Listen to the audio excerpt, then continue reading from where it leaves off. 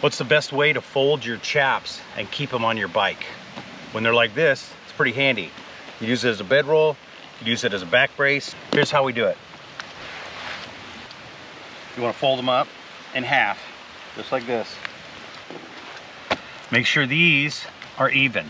This is the key part. Make sure these are even. You're gonna fold this over, get these out of the way, and then you're gonna grab it about one third and you're gonna fold it over onto that side.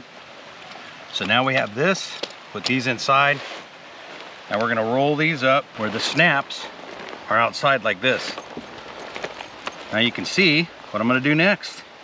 I'm gonna get these snaps and snap them in. This one's broken on one. Bam. Now when you grab them out of your back, out of your trunk, they're not gonna just all flail out.